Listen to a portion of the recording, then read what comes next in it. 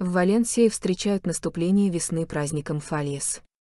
В течение нескольких месяцев его участники создают грандиозные, но недолговечные фигуры из картона, которые сгорают на кострах, создавая уникальное зрелище. В 2016 году этот праздник был включен в список нематериального культурного всемирного наследия ЮНЕСКо. Фалис — наиболее известный на международном уровне праздник Валенсии. В течение недели город наполняется гигантскими фигурами из картона, так называемыми нинотс. Возникновение этого праздника связано с деревянными лампами парад, которые использовали столяры для освещения своих мастерских зимой, а накануне Дня Святого Иосифа они сжигали их на улицах. Сначала они придавали им вид, напоминающий человеческие фигуры, украшая их старой одеждой, но в середине XIX века их объем и высота начали увеличиваться, а форма улучшилась, благодаря чему они превратились в монументальные декоративные фигуры.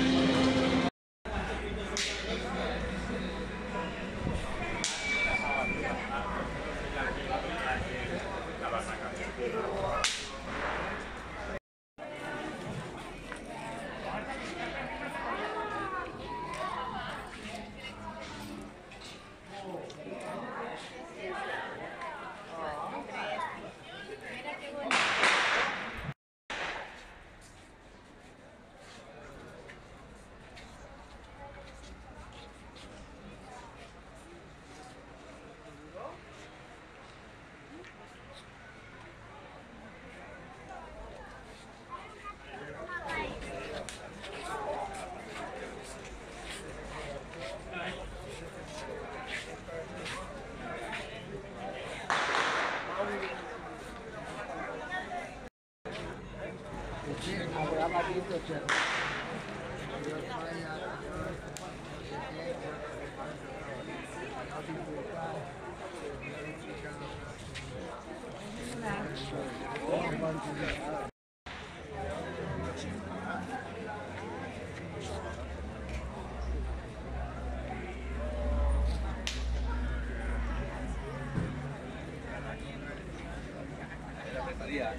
ver, pues no le mola a los dos,